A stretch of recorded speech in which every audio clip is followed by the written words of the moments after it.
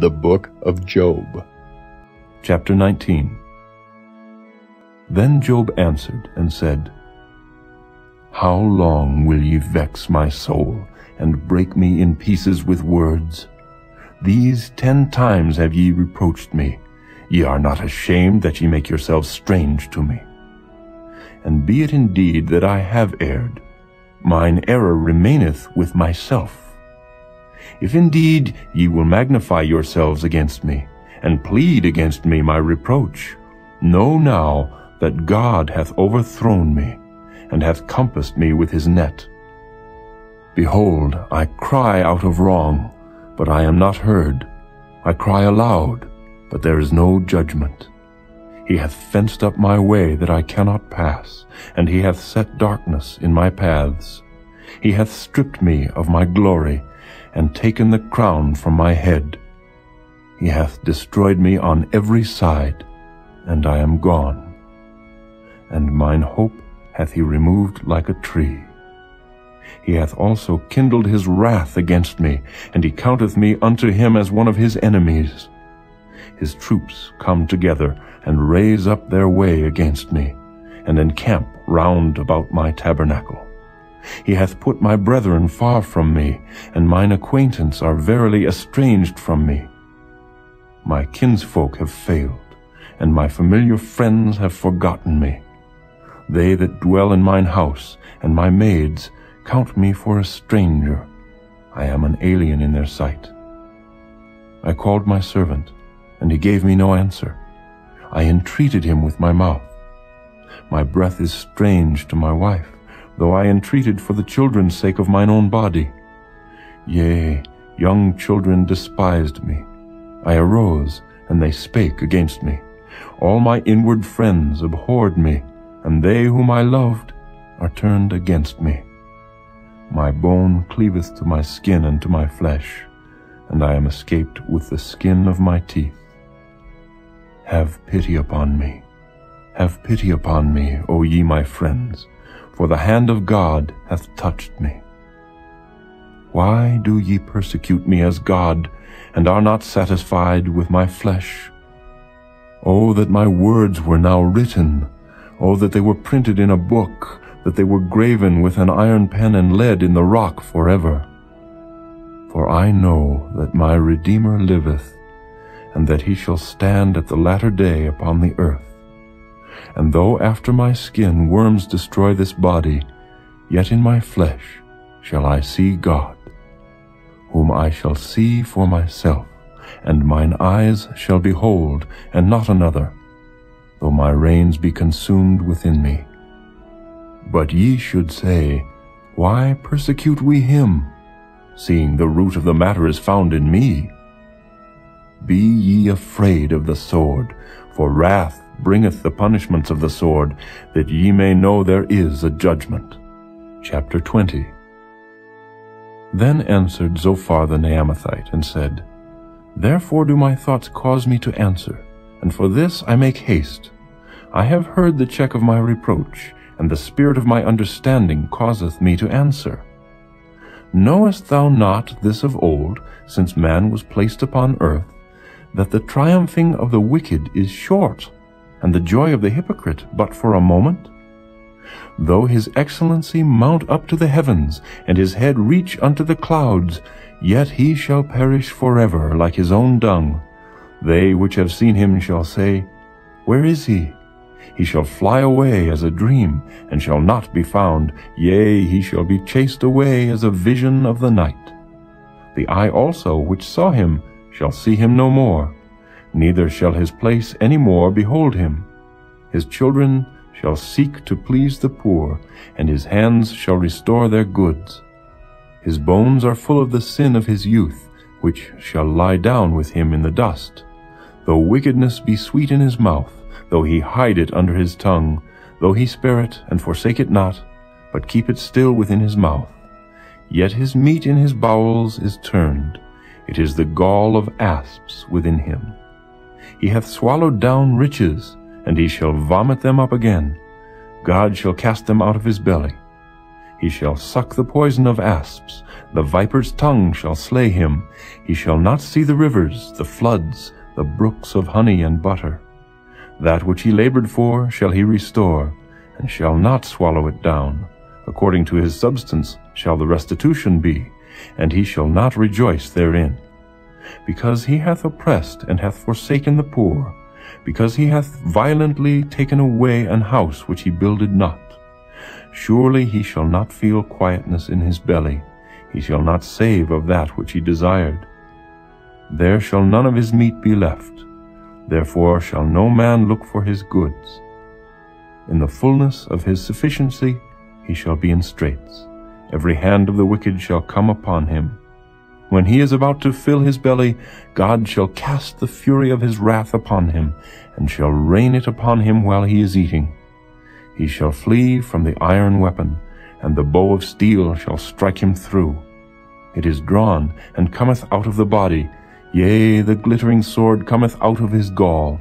Terrors are upon him. All darkness shall be hid in his secret places. A fire not blown shall consume him. It shall go ill with him that is left in his tabernacle. The heaven shall reveal his iniquity, and the earth shall rise up against him.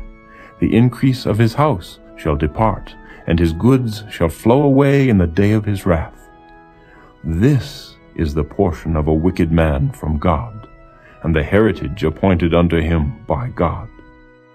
Chapter 21 But Job answered and said, Hear diligently my speech, and let this be your consolations.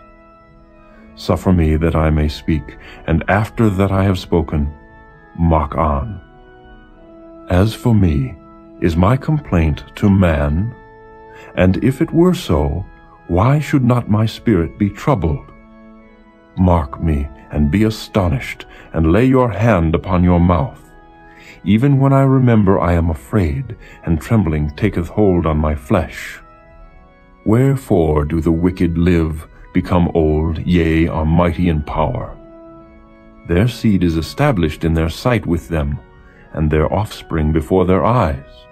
Their houses are safe from fear, neither is the rod of God upon them. Their bull gendereth, and faileth not. Their cow calveth, and casteth not her calf. They send forth their little ones like a flock, and their children dance. They take the timbrel and harp, and rejoice at the sound of the organ. They spend their days in wealth, and in a moment go down to the grave. Therefore they say unto God, Depart from us, for we desire not the knowledge of thy ways. What is the Almighty that we should serve him, and what profit should we have if we pray unto him? Lo, their good is not in their hand. The counsel of the wicked is far from me. How oft is the candle of the wicked put out, and how oft cometh their destruction upon them? God distributeth sorrows in his anger. They are as stubble before the wind, and as chaff that the storm carrieth away. God layeth up his iniquity for his children. He rewardeth him, and he shall know it. His eyes shall see his destruction, and he shall drink of the wrath of the Almighty. For what pleasure hath he in his house after him, when the number of his months is cut off in the midst? Shall any teach God knowledge, seeing he judgeth those that are high? One dieth in his full strength, being wholly at ease and quiet. His breasts are full of milk, and his bones are moistened with marrow. And another dieth in the bitterness of his soul, and never eateth with pleasure. They shall lie down alike in the dust, and the worms shall cover them. Behold, I know your thoughts, and the devices which ye wrongfully imagine against me. For ye say, Where is the house of the prince, and where are the dwelling places of the wicked? Have ye not asked them that go by the way? And do ye not know their tokens, that the wicked is reserved to the day of destruction? They shall be brought forth to the day of wrath. Who shall declare his way to his face, and who shall repay him what he hath done? Yet shall he be brought to the grave, and shall remain in the tomb. The clods of the valley shall be sweet unto him, and every man shall draw after him, as there are innumerable before him. How then comfort ye me in vain, seeing in your answers there remaineth falsehood? Chapter 22 Then Eliphaz the Temanite answered and said, Can a man be profitable unto God, as he that is wise may be profitable unto himself? Is it any pleasure to the Almighty that thou art righteous? Or is it gain to him that thou makest thy ways perfect? Will he reprove thee for fear of thee? Will he enter with thee into judgment?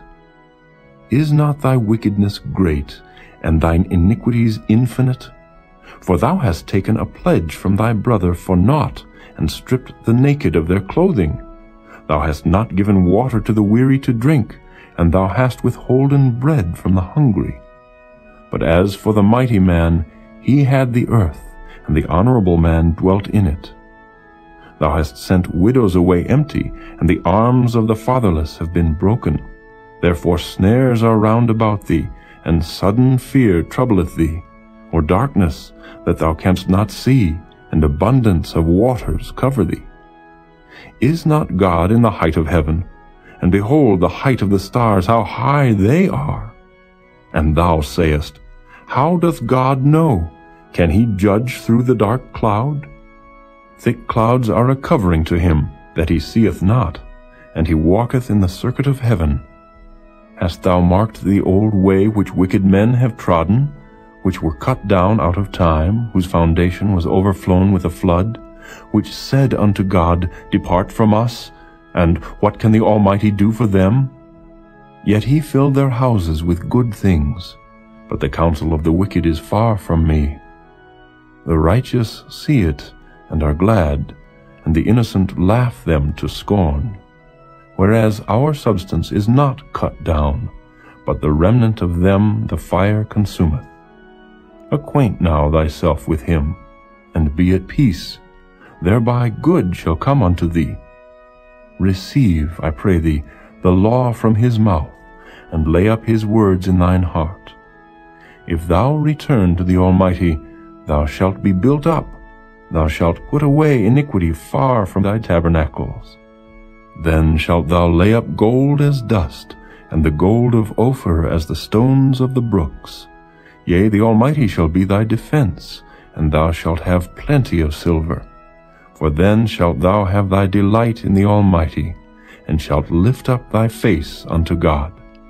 Thou shalt make thy prayer unto him, and he shall hear thee, and thou shalt pay thy vows. Thou shalt also decree a thing, and it shall be established unto thee, and the light shall shine upon thy ways. When men are cast down, then thou shalt say, There is lifting up, and he shall save the humble person. He shall deliver the island of the innocent, and it is delivered by the pureness of thine hands. Chapter 23 Then Job answered and said, Even today is my complaint bitter. My stroke is heavier than my groaning. Oh, that I knew where I might find him, that I might come even to his seat. I would order my cause before him and fill my mouth with arguments. I would know the words which he would answer me and understand what he would say unto me. Will he plead against me with his great power? No, but he would put strength in me. There the righteous might dispute with him, so should I be delivered forever from my judge. Behold, I go forward, but he is not there, and backward, but I cannot perceive him. On the left hand where he doth work, but I cannot behold him. He hideth himself on the right hand, that I cannot see him. But he knoweth the way that I take. When he hath tried me, I shall come forth as gold.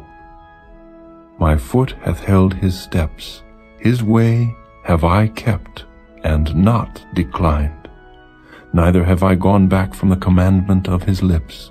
I have esteemed the words of his mouth more than my necessary food. But he is in one mind, and who can turn him? And what his soul desireth, even that he doeth. For he performeth the thing that is appointed for me, and many such things are with him. Therefore am I troubled at his presence. When I consider, I am afraid of him. For God maketh my heart soft, and the Almighty troubleth me, because I was not cut off before the darkness, neither hath he covered the darkness from my face.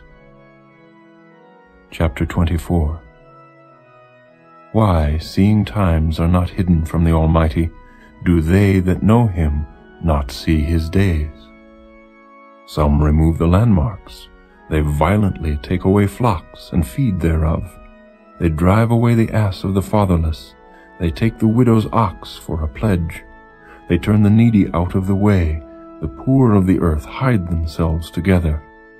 Behold, as wild asses in the desert go they forth to their work, rising betimes for a prey. The wilderness yieldeth food for them and for their children. They reap every one his corn in the field, and they gather the vintage of the wicked.